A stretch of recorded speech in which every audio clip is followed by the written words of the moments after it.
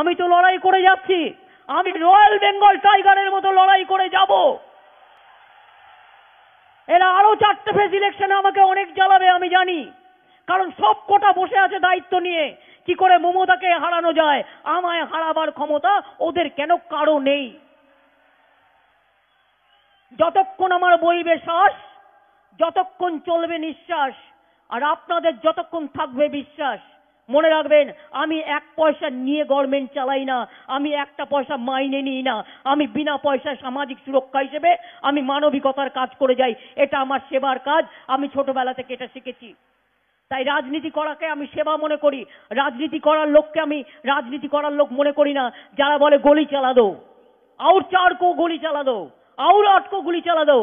সব যেন মুখে লুকোপ্লাস্টার লাগিয়ে বসে আছে না?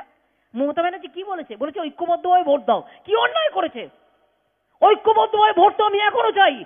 সবাই চাই। আমি হিন্দু, মুসলমান, শিখ, খ্রিস্টান, তপশিলি, মতুয়া, লোকনাথ, অনুকূল ঠাকুর থেকে শুরু করে, মা বোন থেকে শুরু করে, ছাত্র যুব থেকে শুরু করে, আমি সবাই চাই। ঐক্যবদ্ধ ভোট তৃণমূল কংগ্রেসে পড়ুক। তার কারণ, বাংলাকে বাঁচাতে হবে। কি খেলা হবে? রাতে অবশ্য খেলা হওয়ার নাইট গেম যেগুলো হয় হয়। কিন্তু খেলা হয়। নানা রকম খেলা, সকালেও হয়, দুপুরেও হয়, বিকেলেও হয় সন্ধেও হয়। আর মানুষের মনের খেলা হচ্ছে সবচেয়ে বড় খেলা।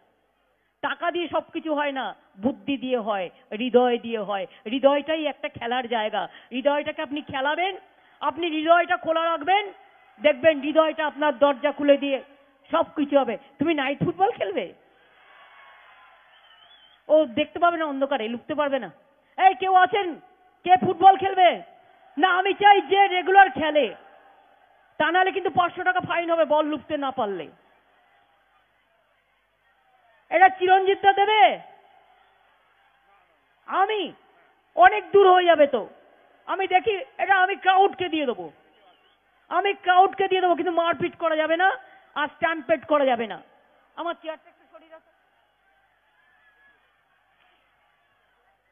দেখি মেয়েরা লুকতে পারে না ছেলেরা লুকতে পারে।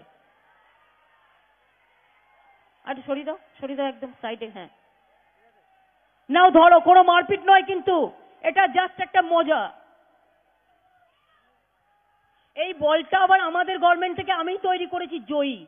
এটা হচ্ছে আমাদের খেলোয়াড়রা, যারা মোহনবাগান ইস্ট বেঙ্গলরা আছে, তারাই কিন্তু মানুষ দ্বারা দায়িত্ব নিয়ে এই জয়ী বলটা তৈরি করে। এটা গভর্নমেন্টের বল।